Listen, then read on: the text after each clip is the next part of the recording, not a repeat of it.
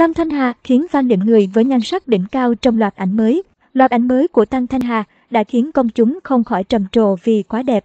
Dù đã rút lui khỏi làng giải trí, nhưng Tăng Thanh Hà vẫn mãi là tượng đài bất hủ của showbiz Việt.